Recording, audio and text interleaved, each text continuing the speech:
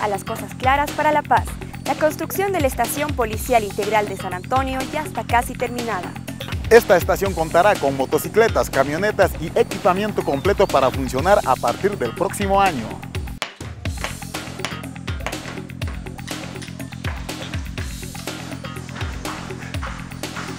Esta infraestructura importante para el macrodistrito San Antonio va a ser eh, concluida este fin de mes. Eh, tiene en este momento un avance del 98-99% y en unos días más se va a hacer la recepción provisional.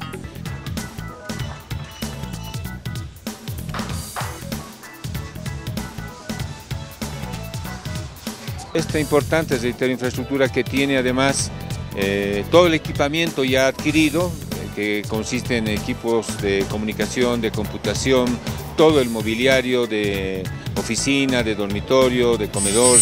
La administración de la terminal de buses renovó un muro perimetral de 250 metros. También reemplazó los pisos de la nave central y puso nuevos techos en el sector de cafetería.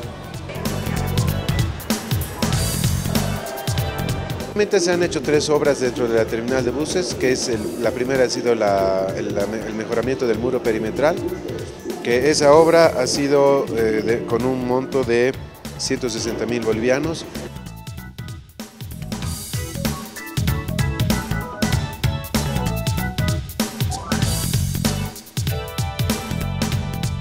Después, en la, remoción del piso de la nave central, eh, con la colocación de, todo este del piso, que es un monto de 320 mil bolivianos, y la cubierta de la parte trasera de las, de las cafeterías, que es un monto de 160 mil bolivianos.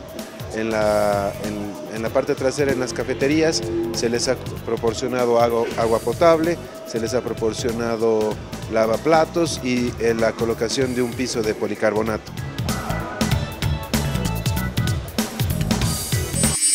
Claro, ahora es tiempo de ver imágenes paseñas.